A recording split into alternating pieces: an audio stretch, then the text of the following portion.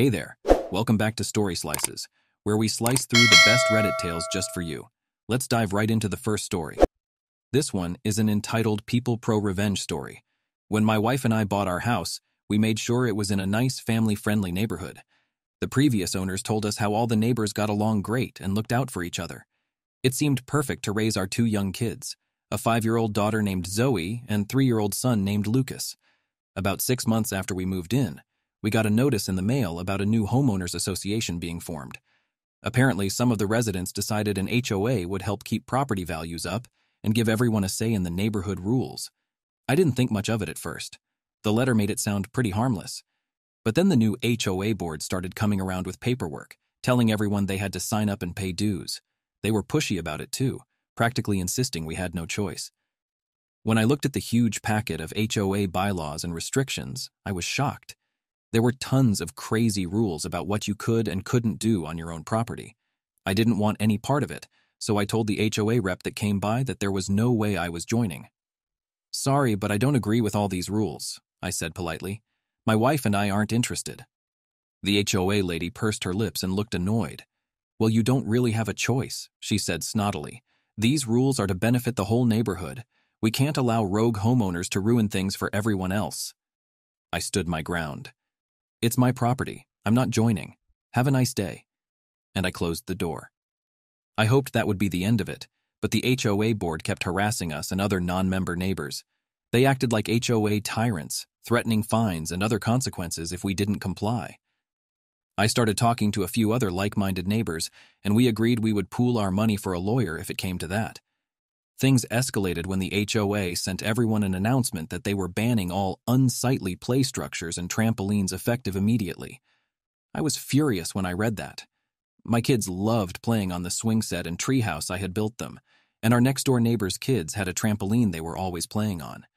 The very next weekend, I was using our riding lawnmower to mow the lawn when I noticed an HOA vehicle pull up. Two men got out and started heading for my backyard. I quickly turned off the mower and confronted them. What do you think you're doing on my property? I demanded. We've been instructed to dismantle any playsets on non-compliant lots, one of the men said with authority. I was seeing red. I don't care what you've been instructed. You are trespassing and have no right to touch my property. Just then, my wife came out holding our toddler.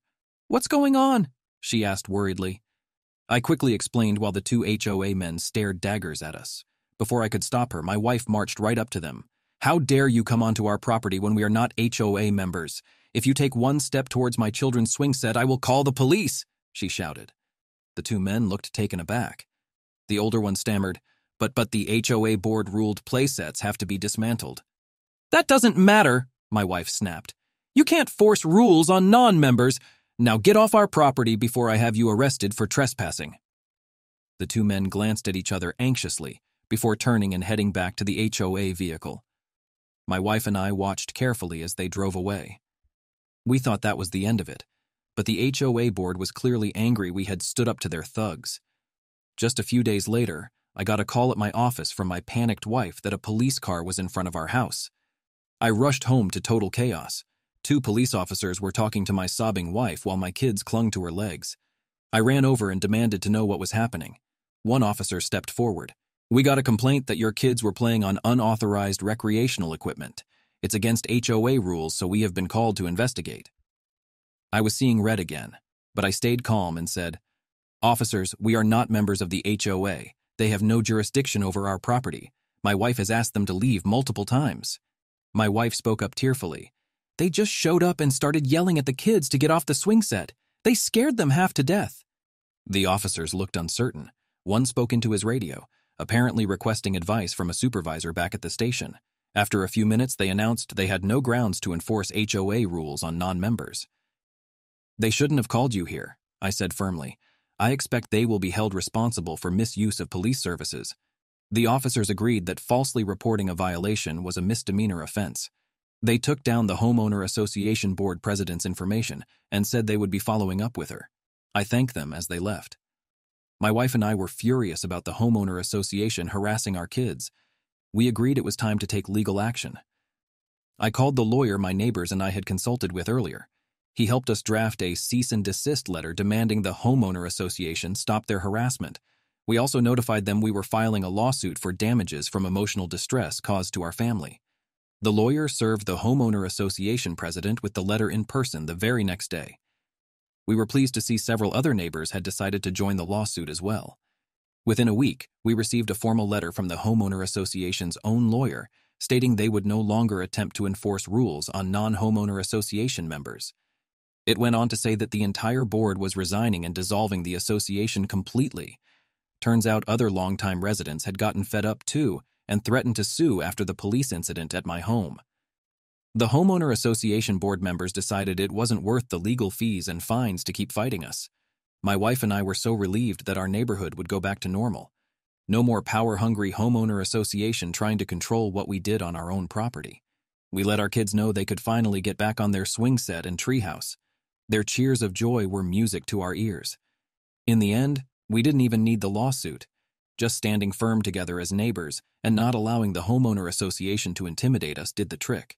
It felt so good to watch those arrogant homeowner association board members walk away with their tails between their legs, realizing they had no power over us. Our neighborhood is peaceful again. The residents made an agreement to form a voluntary community group instead if any issues came up. I'm proud my wife and I stood up for our rights, and more importantly, protected our kids from the homeowner association's harassment. We now have a no homeowner association zone sign up in our front yard, reminding everyone that our home will stay a happy playground for our children. If you enjoyed the story, please leave a like and subscribe to our channel if you haven't already. The next one is a malicious compliance story. My name's Alex, and I'm a technician for a company that does residential service calls. It's a pretty good job most days, but the management can be a bit much. I usually work four 10 hour shifts each week, but will pick up an extra half or full day for overtime when I can. One week, I had a family dinner planned on one of my overtime days, so I only scheduled a half shift that day. Of course, the day turned out to be a busy one. By 2.30 p.m., I still had one more job left on my schedule, but luckily the customer wasn't home, so it had to be rescheduled. I messaged my manager and the route supervisor to let them know I was done for the day. The supervisor cleared me to head back, but I didn't hear anything from my manager. Normally, that wouldn't be a big deal. I was supposed to be off over two hours earlier anyway, and they never add more jobs once your scheduled time is up. So I headed back to the office, clocked out, and made it to my family dinner. But when I checked my work phone the next day, there was a message from my manager sent an hour after I'd left, saying, You are not allowed to clock out unless cleared by a manager. I was annoyed, but figured maybe I'd forgotten to include him on the message that day. But nope, I checked, and he was definitely there, and it showed he'd seen it. At first, I was worried I might be in trouble, but then I had an idea. If he wanted me to wait for manager approval every day, then that's exactly what I would do malicious compliance time. Most days, getting manager clearance to leave wasn't an issue, but about a month later, I finally got my chance. It was the middle of winter and we were getting heavy snow. I had a full schedule and was running way behind. I didn't finish my last job until almost 8 p.m. As soon as I was done, I messaged my manager, the same one from before, and the supervisor to let them know. I started driving back, ready to get home after a long day. By 8.30 p.m., I was home, but still no word from the manager. I messaged him again, asking him to clear me so I could clock out. Radio silence. I debated how far I wanted to take this little protest. I mean, I do get paid by the hour. In the end, I decided not to overdo it. But right before 9 p.m., I called him. He picked up confused. I politely explained I'd been waiting for him to clear me to clock out. Comprehension seemed to dawn on him. Oh, yeah, of course, he said quickly. You're cleared. I gently reminded him of his instructions not to clock out until personally cleared by a manager. Then I thanked him and hung up. In the message thread, I noted that I'd called and received verbal clearance. That was a few months ago now. And I'm happy to report that my manager has not forgotten to clear me once since that day. I've maliciously complied an extra 15, 30 minutes of pay every time another manager drops the ball. So in the end, I didn't get any huge revenge on my boss. He's not a bad guy overall, just a bit of a micromanager. But the look on his face when I called him that night was priceless. And I finally feel like my time is being properly valued. So for me, this small victory was sweet enough. The next one is Am I the a whole story? Man, some people really grind my gears.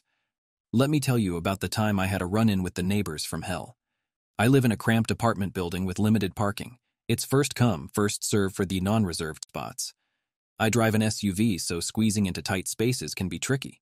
Usually, if I'm coming home late, I'll just park on the street rather than try to maneuver my boat of a vehicle into one of those postage stamp parking spots. But the other night I got lucky and found a spot that I could actually fit in without playing a game of parking lot Tetris, so I pulled in, centered between the lines like a champ. My SUV was the only car on that side with empty spots to the left and right. Textbook parking job, if I do say so myself. Fast forward to 9 p.m.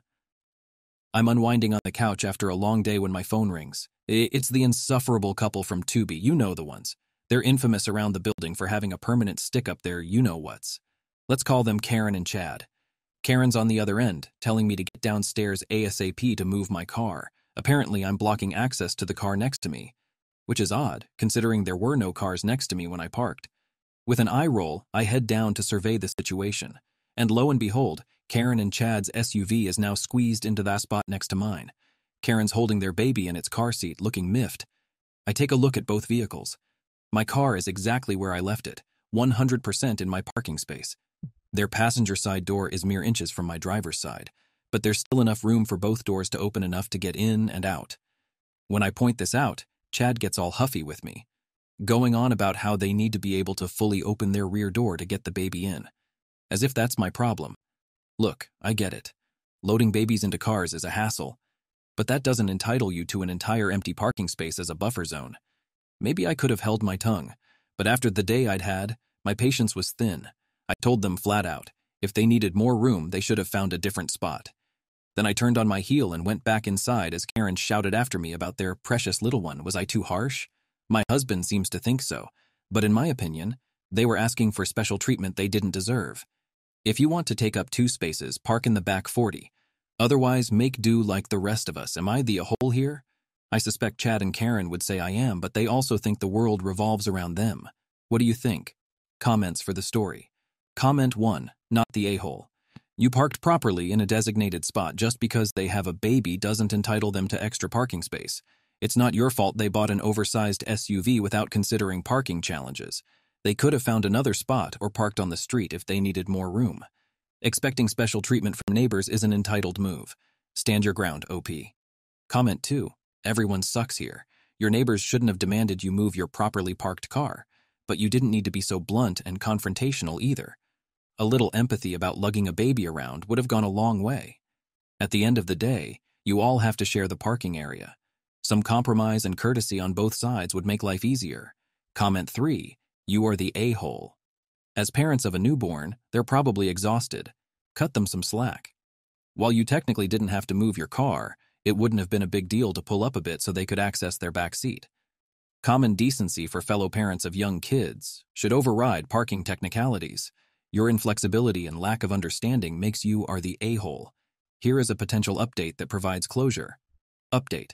After getting a lot of feedback from you guys, I did some reflecting and decided to try smoothing things over with Karen and Chad. Parking tensions had been escalating for a while in our building, and I didn't want to add fuel to the fire. The next day, I went over and knocked on their door. When Karen answered, I apologized for being short with them the other night.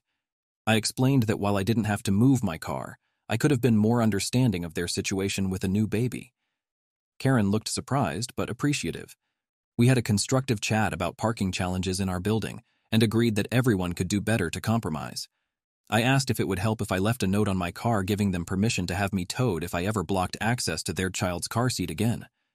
Karen said that wasn't necessary, but she appreciated the gesture. Before I left, I gave them a small gift for the baby and my phone number in case they ever did need me to move my car in an emergency. Karen said I didn't have to do that, but thanked me for extending an olive branch. The parking situation seems less tense now in our building. I'm glad I chose to bury the hatchet and approach Karen and Chad respectfully. We both acknowledged we could have handled it better. Now there's one less feud in the complex, and you never know, we may need each other's help with parking again someday. Choosing kindness over being technically right was the way to go here. Thanks Reddit for pushing me in the right direction. Are you hungry for more slices of stories? Don't forget to subscribe and hit the bell to never miss out on any videos. See you tomorrow at Story Slices.